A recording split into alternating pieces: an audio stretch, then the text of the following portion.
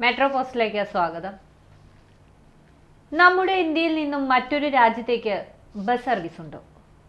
അങ്ങനെ ചോദിച്ചാൽ പാകിസ്ഥാനിലേക്ക് ബസ് സർവീസ് ഉണ്ട്. അതല്ലാതെ മറ്റൊരു രാജ്യത്തേക്ക് ബസ് സർവീസ് ദേശീയ തലത്തിൽ ഇല്ല എന്ന് തന്നെ പറയാം. ഇന്ത്യയിലേക്കും അതുപോലെ തന്നെ. എന്നാൽ അത് ഇപ്പോഴത്തെ കാര്യം. നേരത്തെ അങ്ങനെ അല്ലായിരുന്നു കേട്ടോ. അങ്ങ് ഇംഗ്ലണ്ടിൽ നിന്നും ഇന്ത്യയിലേക്ക് ഒരു ബസ് സർവീസ് ഉണ്ടായിരുന്നു. ആ കഥയാണ് ഞാൻ ഇന്നിവിടെ പറയാൻ പോകുന്നത്. ഇംഗ്ലണ്ടിലെ ലണ്ടനിൽ നിന്നും ഇന്ത്യയിലേക്ക് അതായത് ഇന്നത്തെ കൊൽക്കത്തയിലേക്ക് ഒരു ബസ് സർവീസ് നിലവിലുണ്ടായിരുന്നുവെന്ന് പറഞ്ഞാൽ പലർക്കും വിശ്വസിക്കുവാൻ പ്രയാസമാകും. പലരും അസാധ്യമെന്ന് തന്നെ പറയും. എന്ന കാര്യങ്ങൾ അങ്ങനെയായിരുന്നില്ല.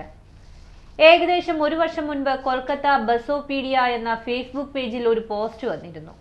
ലണ്ടൻ കൽക്കത്ത ലണ്ടൻ ബസ് സർവീസിനെ പറ്റിയുള്ള വിശദാംശങ്ങളും ചിത്രങ്ങളും നൽകിക്കൊണ്ടായിരുന്നു പ്രസ്തുത പോസ്റ്റ് പ്രത്യക്ഷപ്പെട്ടത്. രോഹിത് കെ ദാസ് ഗുപ്ത എന്നയാളാണ്. ആയിരത്തി തൊള്ളായിരത്തി എഴുപത് വരെ നിലവിലുണ്ടായിരുന്ന ഈ സർവീസിനെ പറ്റി ട്വിറ്ററിലൂടെ വിവരങ്ങൾ പങ്കുവച്ചത്. ആയിരത്തി തൊള്ളായിരത്തി അൻപത്തിയേഴിൽ ആരംഭിച്ച ബസ് സർവീസ് ബെൽജിയം യൂഗോസ്ലോവിയ തുടങ്ങിയ രാജ്യങ്ങൾ പിന്നിട്ട് പടിഞ്ഞാറൻ പാകിസ്ഥാൻ വഴിയാണ് ഇന്ത്യയിലെത്തിയിരുന്നത്. ബസ്സിൽ കയറാൻ നിൽക്കുന്ന യാത്രക്കാരുടെ ഫോട്ടോ സഹിതമാണ് രോഹിത് എന്ന കാര്യങ്ങൾ പോസ്റ്റ് ചെയ്തത്.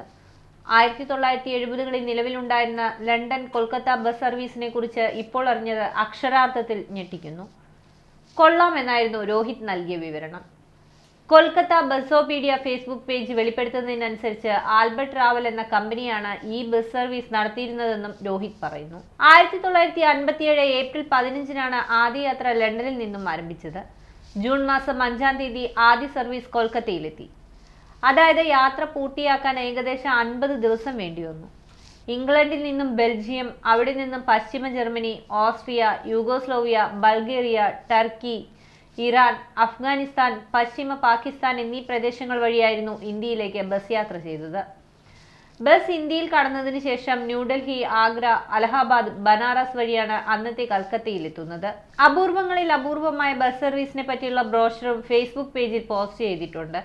വായിക്കാനുള്ള സംവിധാനങ്ങൾ ഓരോരുത്തർക്കും പ്രത്യേകം സ്ലിപ്പിംഗ് ബാങ്കുകൾ പാട്ടുകൾ കേൾക്കാനുള്ള സംവിധാനം ഫാനിൽ പ്രവർത്തിക്കുന്ന ഹീറ്ററുകൾ എന്നിങ്ങനെ പലതും യാത്രക്കാർക്കായി ബസ്സിൽ സജ്ജീകരിച്ചിരിക്കുന്നു എന്ന കാര്യവും ആ പോസ്റ്റിൽ പങ്കുവച്ചിട്ടുണ്ട്.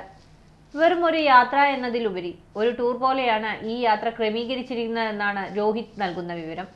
അതുകൊണ്ട് തന്നെ ഗംഗാതീരത്തെ ബനാറസിലും താജ്മഹലിലും അടക്കം വഴിയിലെ പ്രധാന ടൂറിസ്റ്റ് കേന്ദ്രങ്ങളിൽ സമയം ചെലവഴിക്കാനും യാത്രയ്ക്കിടെ അവസരമുണ്ടായിരുന്നു എന്നുള്ളതും പ്രത്യേകതയായിരുന്നു. Tehran Salzburg Kabul Istanbul Vienna തുടങ്ങിയ നഗരങ്ങളിൽ ഷോപ്പിങ്ങിനായി സമയം അനുവദിച്ചിരുന്നു. ഇത്രയും വിശാലമായ ദിവസങ്ങൾ പിടിക്കുന്ന യാത്രയ്ക്കുള്ള തുകയും പോസ്റ്റിൽ നൽകിയിരുന്നു. എൺപത്തിയഞ്ച് പൗണ്ട് സ്റ്റെർലിംഗ് അതായത് ഇപ്പോഴത്തെ എട്ടായിരത്തി പത്തൊൻപത് രൂപ.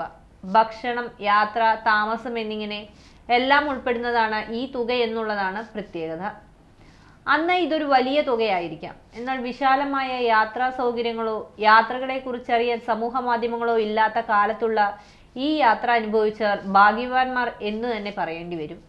ഇന്ത്യ ഇംഗ്ലണ്ട് യാത്ര എന്നതിലുപരി എത്ര രാജ്യങ്ങൾ കടന്നാണ് ബസ് യാത്ര ചെയ്യുന്നത് എന്നുള്ളതാണ് ഇന്നത്തെ തലമുറയെ മോഹിപ്പിക്കുന്നതും. വാർത്തകൾ വിശകലനങ്ങൾ പ്രത്യേക പരിപാടികൾ എന്നിവയ്ക്കായി മെട്രോ പോസ്റ്റ് സബ്സ്ക്രൈബ് ചെയ്യുക.